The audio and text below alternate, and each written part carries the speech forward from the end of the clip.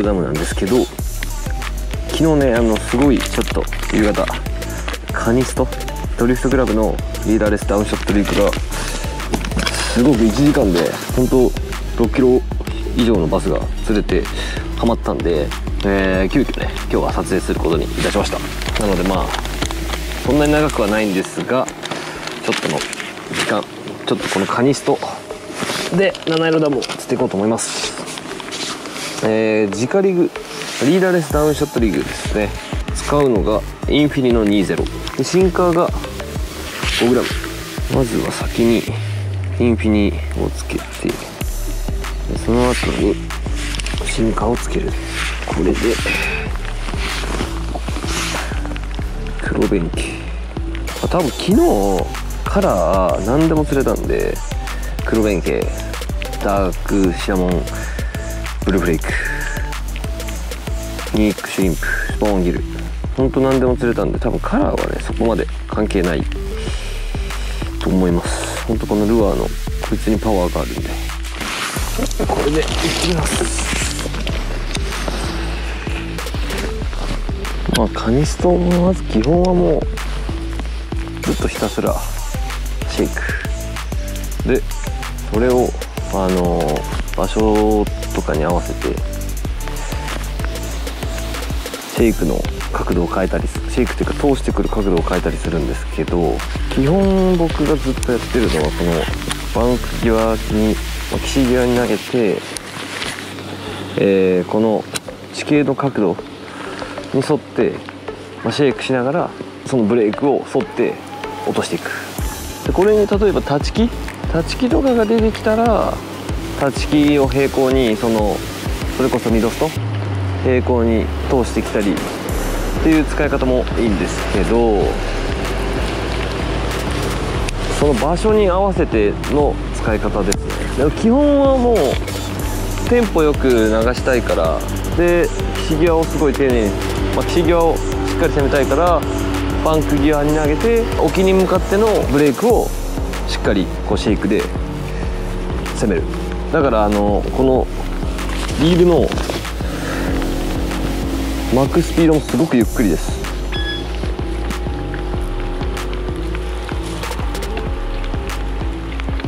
すごくゆっくりもうシェイクでふわふわふわふわさせる。で昨日もう一つすごくこのカニストでいいなと思った釣り方がカバーの中に突っ込んで、まあ、糸をそしたらカバーに垂れ下がるじゃないですか。そのカバーの中からカバーの上カバーに引っ掛けて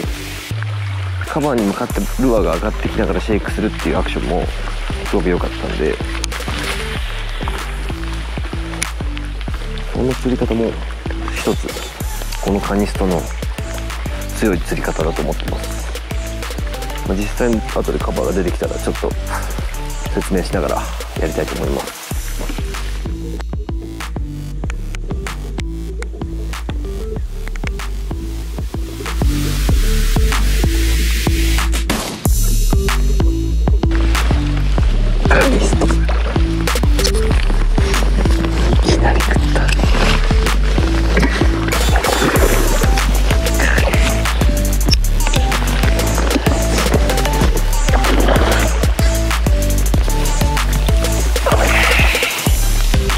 中に。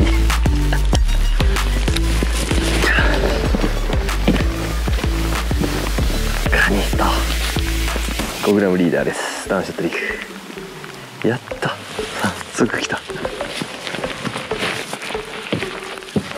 ありがとうカニちゃんマジすげえな。でね。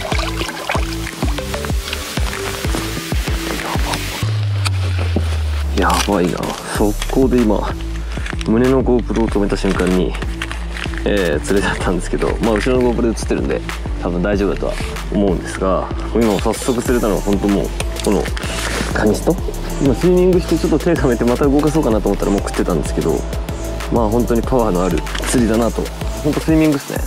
で今あの別に特にこれといっていい場所ではないんですけど適当に岸際を岸際に投げてあの今ほんと解説してたようにふわふわふわふわシェイクしながら落としてたら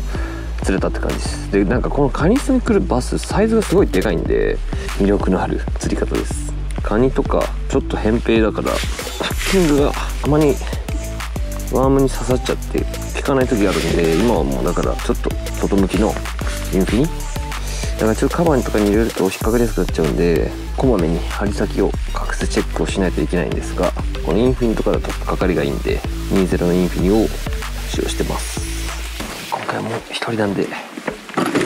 小声でいきたいと思います。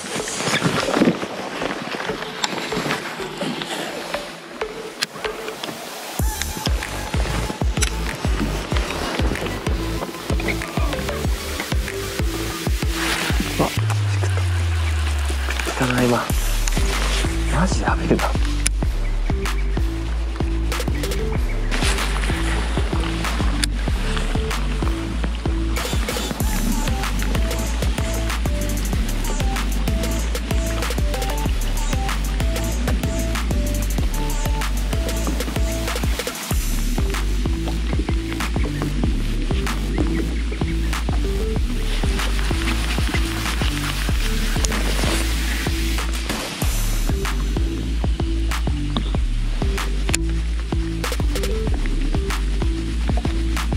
今スイミングを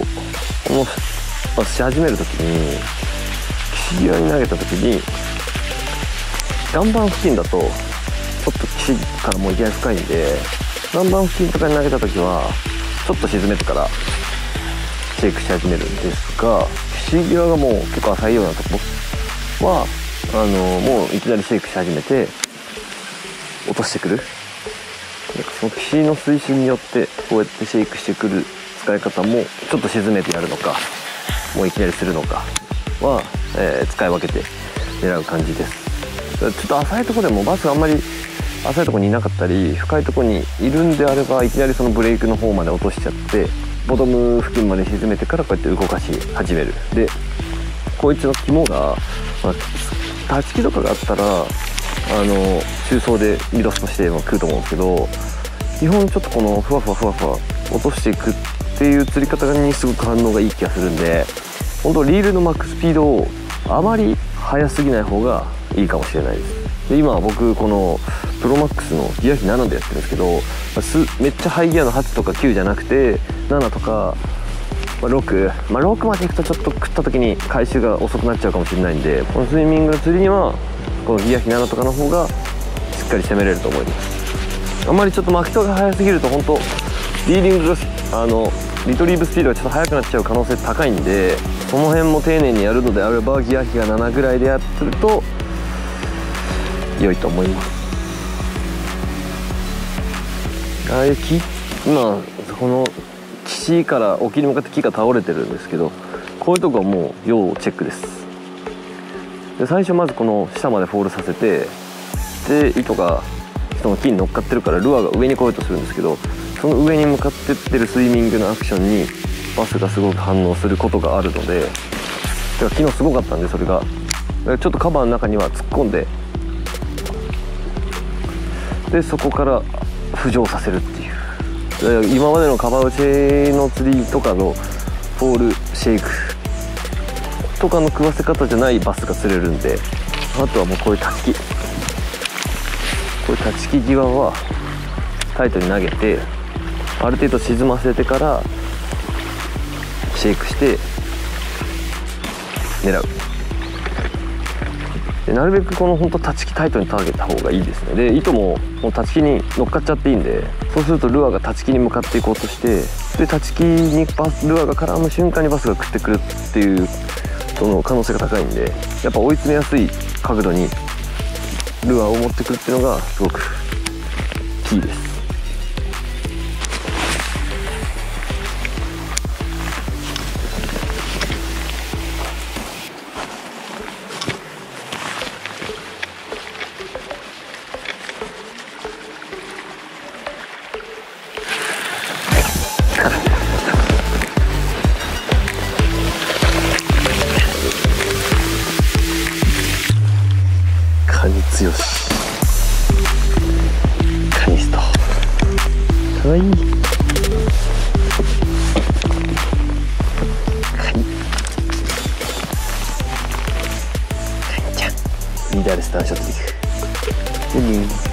サイズは今のは下がりましたか。リーダーレスターショットでいく 5g 2匹目です。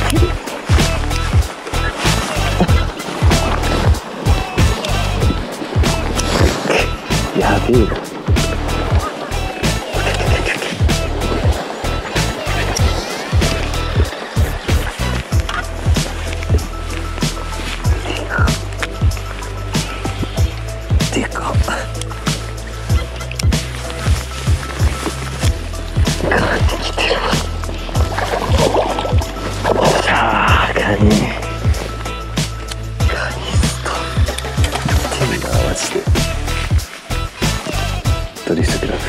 ブ 5g のリーダーです男子トリック釣れすぎだろ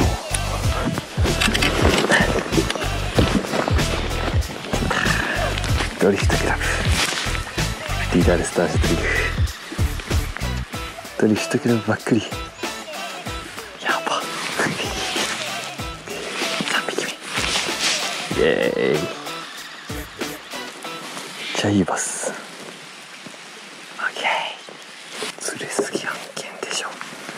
カニ結構大きいなこれねグッバイ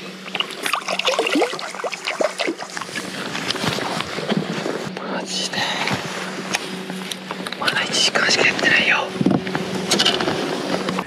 でも今のは結構ボトム最初バスが見えてで浅いところに投げてボトムを、まあ、ボトストっすね。ボトストしてきたらバス